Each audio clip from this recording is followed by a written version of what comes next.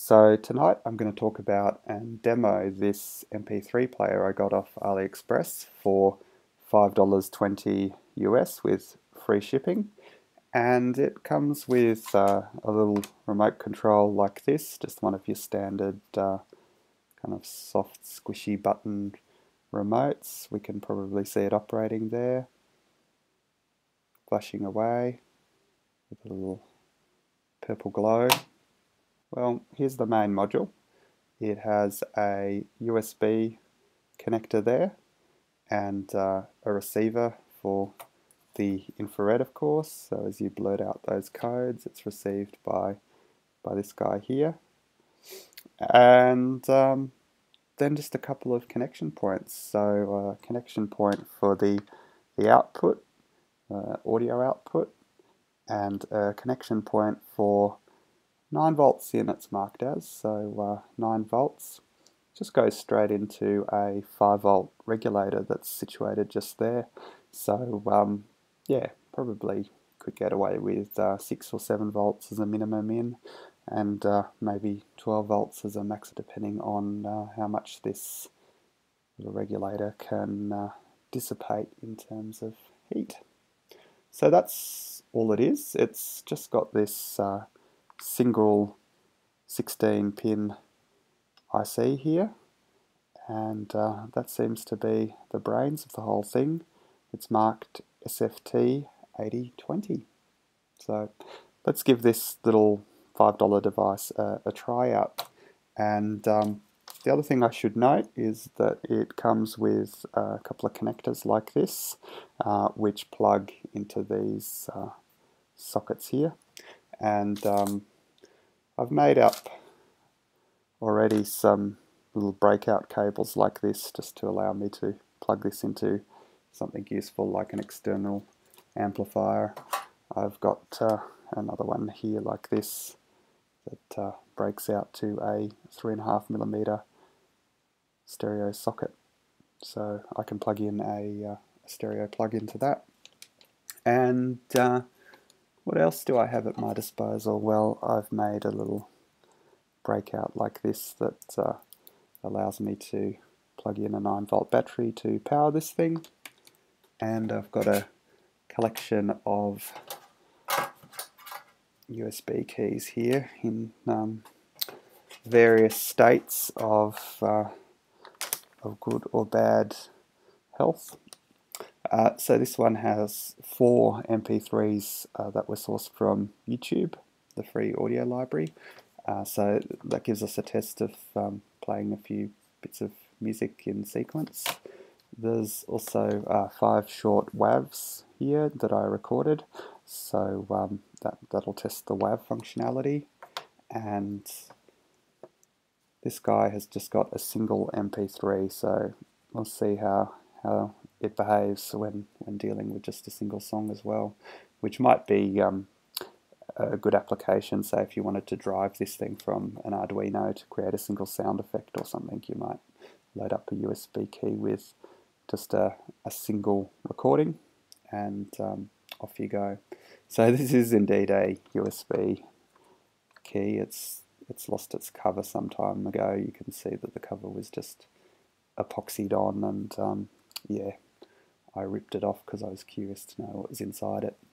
But this video is about this little MP3 module, so let's give it a try out and uh, and see how it goes. It's worth noting that these things only really support MP3 and WAV, and that's pretty clearly um, pointed out here in the in the text that's provided. So only really support MP3 and WAV formats. Uh, I've tried things like M4As and um, FLAC formats, but um, had no luck with those. So um, yeah, just simple old-fashioned MP3s and WAVs. Um, it's not a big problem because most other formats could be um, decompressed and stored on a USB key as, as WAV without too much trouble these days. You know, there's plenty of storage on even a cheap USB key these days. So um, storing music as WAV for uh, an embedded application such as you might um, use this for, not a real problem I don't think. Here's a close-up of the 16-pin SOIC IC that's on this MP3 player. It's um, got this interesting pi sort of symbol mark here, maybe a J and an L or something. Um, not sure who that manufacturer is, but um, I think probably uh, an indigenous Chinese manufacturer there. And uh, the marking uh, is AC1433 CF4J18 dot 1 hyphen B 2E I believe and um, yeah can't really find much on the internet about this IC but um, obviously um, a fairly uh, you know uh, fixed um, application specific IC here. Uh, you can see that on the bottom left hand uh, side, sorry, the bottom right hand side, you've got um, connections to the USB connector and um, yeah, just to, um, to the left hand side you've got some connections running down to uh, a small LED there and uh, the infrared receiver and um, yeah, not a heck of a lot else apart from connections to power. There you can see that 78 L05 5 volt regulator there. So if you wanted to run this thing off 5 volts instead of a high voltage, you could um, just lift that regulator off the circuit board and uh, just bridge the contacts between input and output and then feed it with a 5 volt supply like you might get uh, off an Arduino. And uh, those are the, the two connectors there. I'll flip it over and uh, see if we can see the, the underside. Really no components or anything populated on the underside, just this marking here that uh, signifies the device, SFT 8020.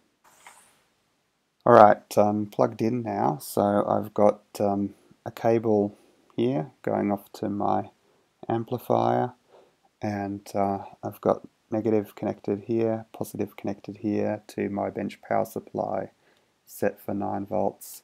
So let me flick the power on the bench power supply and let's see how we go. And of course I've got um, four tracks loaded up on this USB key here as well.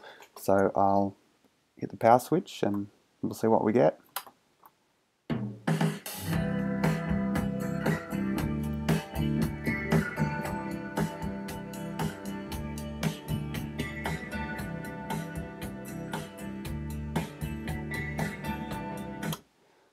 So that definitely worked. Um, now I'll apply the power again and um, let's see what it does.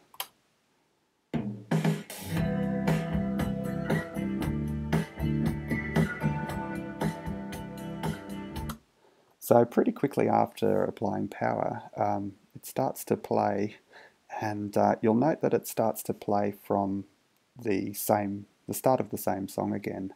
Uh, so if you're midway through a track and you turn the power off, turn the power back on, it starts playing from that current track again.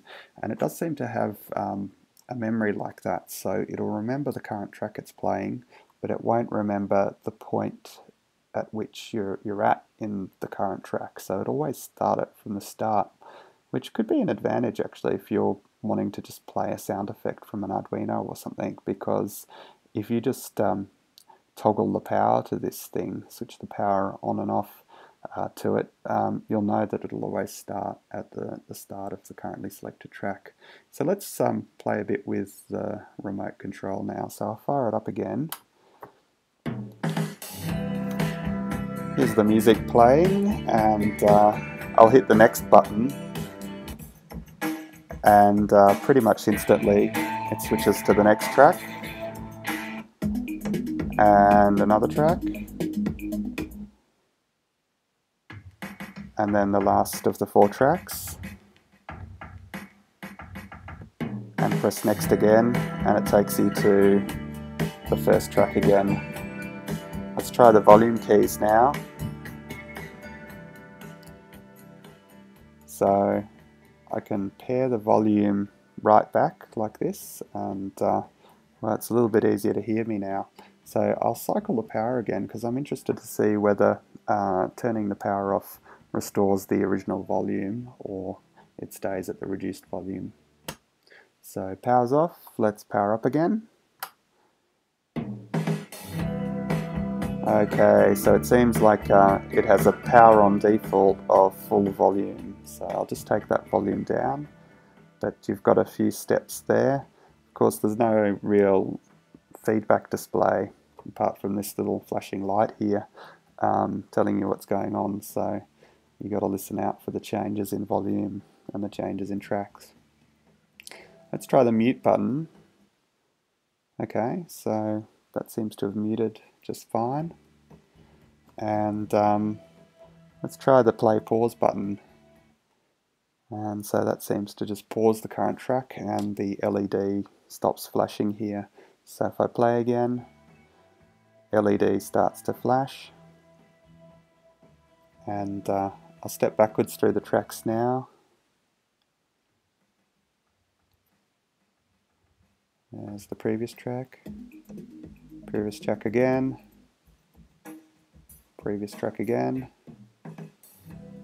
And previous track again. Um, so this is kind of like a, a circular loop. It doesn't hit the end point of the playlist. It'll go back to the start if you press next or previous enough times. And um, I'll see if any of these numbers work. So I press 3. Okay, so that seemed to take us to the start of a track. I'll press 2.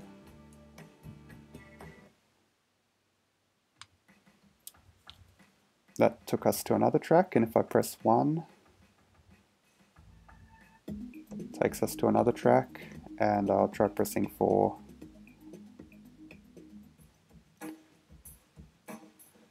And that takes us to the last of the tracks.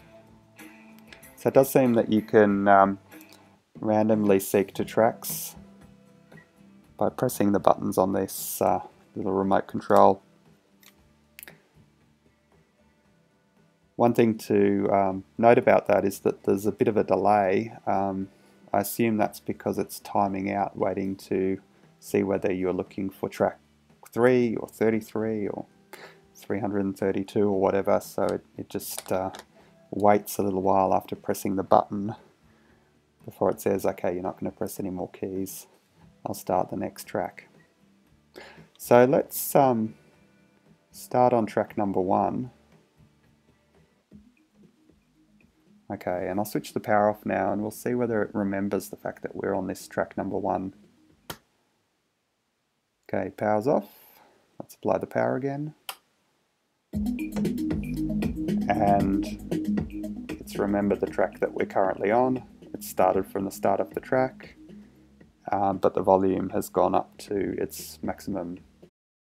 So the device seems to work quite well really. I'm pretty happy with it and um, it's kind of interesting that it has that um, resume from the start of the present track. Um, that could be a little bit annoying in some circumstances because um, you might do a lot of, say, short car trips. You put this in your car and you find that you're hearing the same song uh, a lot of the time because uh, you stop, turn the ignition off, start it up again, and it starts at the start of the track you were listening to.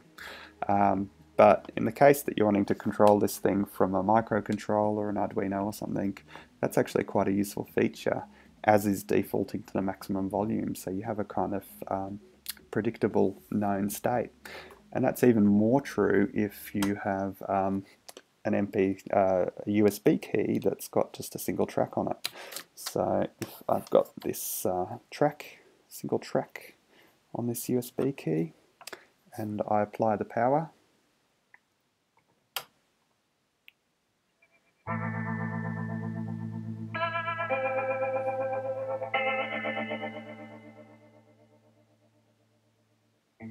Okay, so it started up at maximum volume and it started at the start of the track. I'll cycle the power again.